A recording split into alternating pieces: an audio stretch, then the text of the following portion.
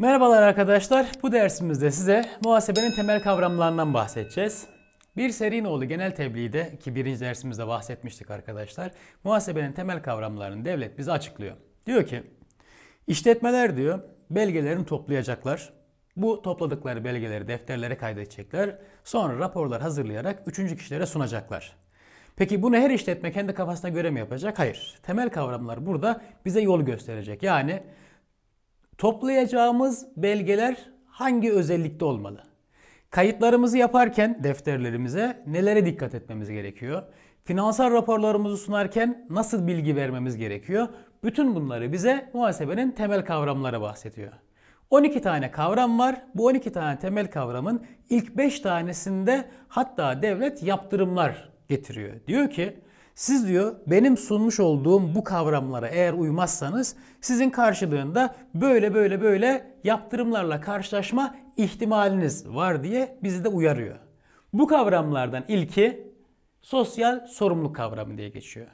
Şimdi diyebilirsiniz ki ya arkadaş sosyal sorumlulukta işletmeye nasıl bir yaptırım olabilir? Öncelikle sosyal sorumluluğun ne olduğunu bilmemiz lazım.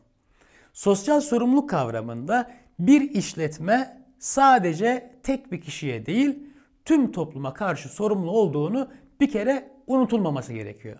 Şöyle ki muhasebedeki amaç arkadaşlar patron kazansın e patron kazanırsa ben de kazanayım demek değil. Muhasebenin amacı herkese eşit mesafede durmak ve herkese aynı bilgiyi aynı şekilde sunmaktır. Mesela şöyle düşünün. İşte yılın sonu geldi. Hep diyoruz ya gelir gider işletmenin amacı kar elde etmek. Yılın sonu geldi. İşletmenin tüm gelir ve giderlerini karşılaştırdık. E bir de baktık bizim 1 milyon lira zarar karımız var. E kar varsa e, vergi ödenmesi lazım. Hemen patronu aradık haber veriyoruz mutlu bir şekilde. Diyoruz ki patron patron biz bu sene 1 milyon lira kar elde etmişiz yaşasın. Eğer ki orada patron size söylerse ki ya arkadaş bak biz 1 milyon lira kar elde ettik diyorsun ama e, bizim bunu devlete 20 bin 200 bin lirasını vergi olarak ödememiz gerekiyor. Hadi sen muhasebesin bir şeyler yap da şu vergiyi azaltalım derse ve biz de tutup da muhasebe olarak böyle bir şeye teşebbüs edersek işletmenin devlete ödeyeceği vergiyi azaltırsak burada bir sıkıntı oluşur. Bu durum arkadaşlar sosyal sorumluluk kavramına aykırı bir olaydır. Çünkü patrona 1 milyon lira kar elde ettik derken devlete karı düşürüp işte 500 bin lira kar elde ettik dersek bir sıkıntı meydana gelir. Ki bu sıkıntı tüm toplumu etkiler. Çünkü biz 1 milyon lira kar elde ettik dediğimizde işletmenin devlete ödeyeceği vergi 200 bin liradır. Ama 500 bin lira kar elde ettik dersek devlete devlet ödeyeceğimiz vergi otomatik olarak 100 bin lira düşer. Böyle bir durumda devletin tüm topluma sağlayacağı hizmetlerde aksamalar meydana gelir. Yani işte dedik ya devlet yol yaptıracak, hastane yaptıracak, işte okul yaptıracak. Devlet vergi toplayacak ki bunları yaptırabilesin. Muhasebenin amacı patronun çıkarlarını korumak değil, tüm toplumun çıkarlarına hizmet etmektir. O yüzden de adaletli, tarafsız ve dürüst bilgi sunmamız lazım. Patrona ne diyorsak devlete de yine mutlaka aynı bilgiyi vermemiz gerektiğini söylüyor. Bir diğer kavramımız ise arkadaşlar kişilik kavramı diye geçiyor. Kişilik kavramında ise devlet diyor ki işletme sen artık bağımsız bir kişisin diye bir e, tüzel kişilik tanımlıyor işletmeye. Ve işletmenin sahibinden ayrı bir yere koruyor. Peki bunun anlamı ne? Şimdi biz işletme olarak faaliyetlerimize devam ederken bankada hesap açılması lazım. Bankada hesap açıldığında işletme patronun adına hesap açılmaz. Şirketin kendi adına hesap açılması lazım. Mal alıyorsa, mal satıyorsa yine işletme kendi adına yapacak. Kişilik kavramı diyor ki işletme yapmış olduğu tüm iş ve işlemleri kendi adına yapması lazım. Çünkü herkesten bağımsız bir kişiliği vardır ve kendi faaliyetlerini işletmenin kendi devam ettirmesi gerekir diye söylüyor. Üçüncü kavramımızda ise arkadaşlar işletmenin ömrü. Hatırlayın işletmenin amaçlarından arkadaşlar üçüncüsü yaşamı devam ettirmekti. Ki muhasebenin temel kavramlarından da yine üçüncüsü işletmenin sürekliliği diye karşımıza çıkar. Ve işletmenin ömrünü hiçbir şekilde hiçbir şeyle sınırlandırılmaması gerektiğini söyler. İşletmenin patronu arkadaşlar ölebilir. İşletmenin patronu ölmüş olsa dahi işletme yaşamaya devam eder. Ki biliyorsunuz bir sürü şirket var. Patronları, sahipleri ölmüş olsa bile bu şirketler hala yaşamaya devam ediyorlar. 50 yıllık, 60 yıllık, 70 yıllık büyük büyük holdingler var arkadaşlar. İşte işletmenin sürekli kavramı bu noktada devreye giriyor. İşletme ne kadar büyük olursa işletmenin prestiji, piyasadaki adı, sanı o kadar büyük olur. Dördüncü kavramımızda ise arkadaşlar dönemsellik adını veriyoruz. Bizim işletmemizin ömrü sınırsız. Amacımız muhasebe olarak bilgi üretmek ve bilgi sunmak. Biz bilgi üretip bilgi sunacağız evet doğru ama ömrümüzün tamamıyla ilgili bilgi vermeyeceğiz. Yani bizim kuruluş yılımız bundan 50 yıl öncesi ise 50 yıllık bir bilgiyi biz kimseye vermeyiz. Ömrümüz belli dönemlere bölünür ve her dönemin faaliyet sonucu bağımsız olarak değerlendirilir. Ve mali raporlarda dönemler itibariyle çıkar. Yani atıyorum 1 Ocak 31 Aralık tarihini biz dönem olarak varsayarız. Ve 1 Ocak'tan 31 Aralık tarihine kadar geçen sürede gerçekleşen işlemleri bir faaliyet döneminin sonucu olarak yansıtırız. Elde ettiğimiz kar ya da ortaya çıkan zarar sadece 1 Ocak'la 31 Aralık tarihi arasında gerçekleşen işlemleri kapsar. Geçmiş yıllar verileri zaten kendi dönemlerinde sunulmuştur ve her dönemin faaliyet sonucunu bağımsız olarak sunacağız ki bizim hazırladığımız finansal tablolara bakacaklar. Diyecekler ki bu işletme bir önceki sene zarar etmiş, bu sene kar etmiş şeklinde yorumlar yapılabilsin. Her gelir ve her gideri mutlaka kendi döneminde göstermemiz ve raporlamamız gerekiyor. Beşinci kavramımız ise arkadaşlar parayla ölçme olarak isimlendiriliyor. İşletmeli olarak bizim yapmış olduğumuz işlemlerde ölçü birimleri değişebilir. Yani bazen biz 50 bin liralık mal alırken bazen mallarımızı satarken 10 bin dolara satabiliriz. Farklı birimler kullanılabilir. Ne kadar farklı birimler kullanırsa kullansın kayıt yaparken ve bunları finansal raporlara aktarırken mutlaka bizim ortak ölçü birimi olan Türk lirasını kullanmamız gerekir. O muhasebede ortak ölçü biriminin TL olarak isimlendirilmesine parayla ölçme kavramı adını veriyoruz. Bu saymış olduğumuz 5 tane kavram arkadaşlar mutlaka mutlaka uyulması gereken kavramlardır. Yani hiçbir işletme şunu söyleyemez.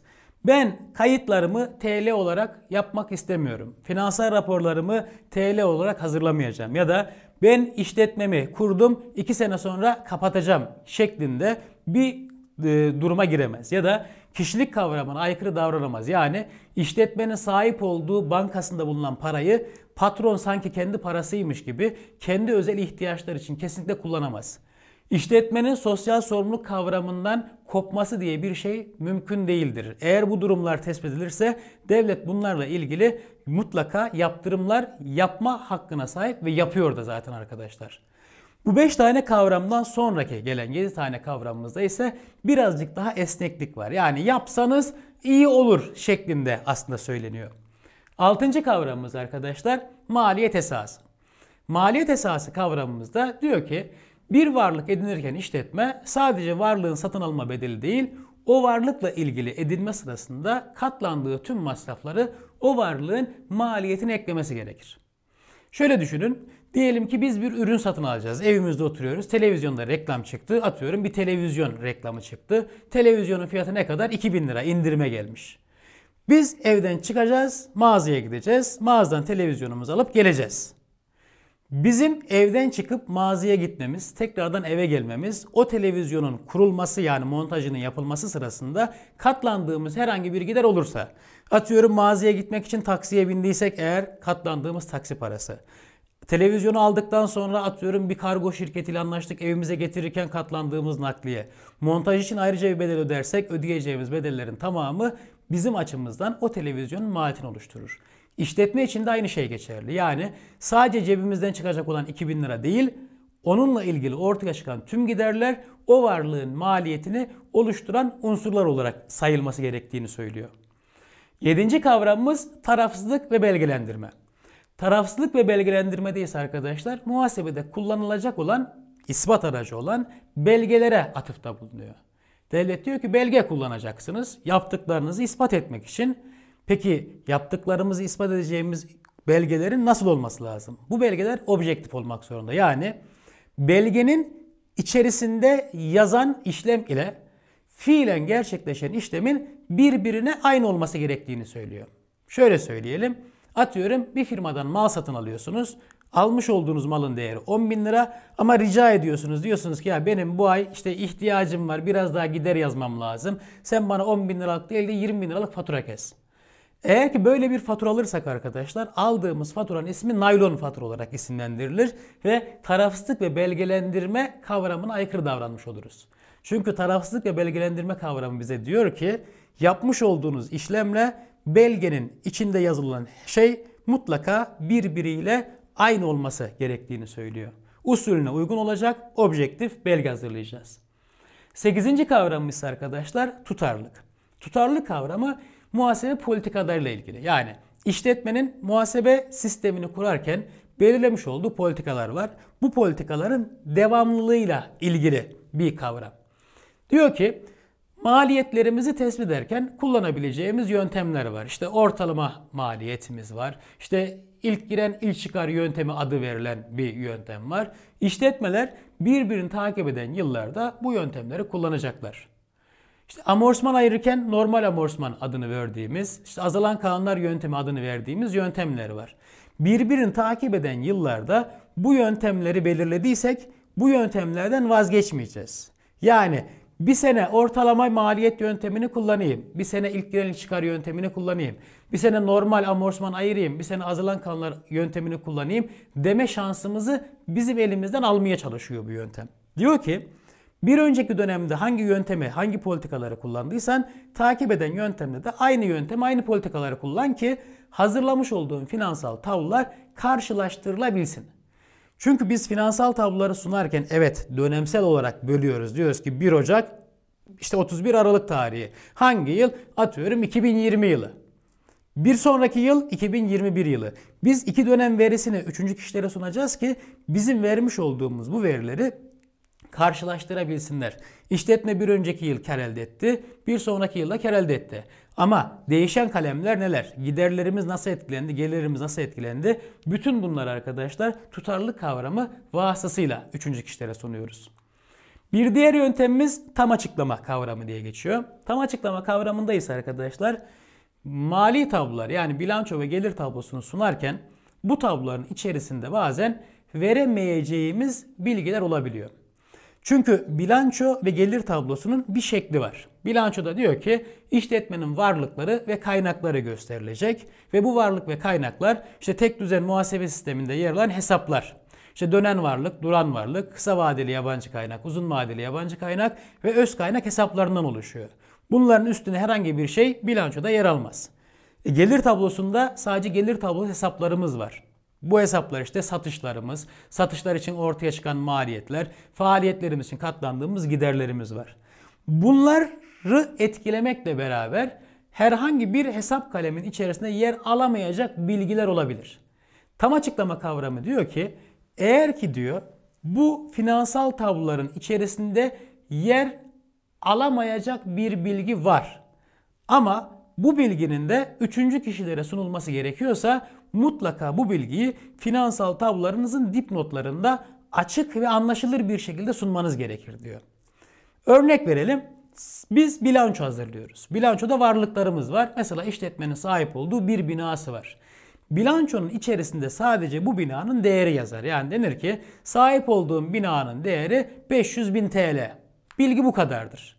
Bu bina ile ilgili başka herhangi bir bilgi yoktur. Yani binanın ne bulunduğu yer, ne binanın yapılış şekli, ne binanın e, yaşı, ne bu binanın üzerinde bir ipotek var mı yok mu? Bunda bu bilgilerin hiçbirisi yer almaz bilançonun içerisinde. Ama biz bir bankadan kredi çekerken eğer bu binayı ipotek ettirdiysek ipotek bilgisi önemli bir bilgidir. Ve bu bilgiyi mutlaka dipnotlarda yazacağız. Diyeceğiz ki işletmenin sahip olduğu binası işte X bankasından çekilmiş olan krediye istinaden ipotek ettirilmiştir. Şeklinde mutlaka dipnotlarda göstermemiz gerekiyor.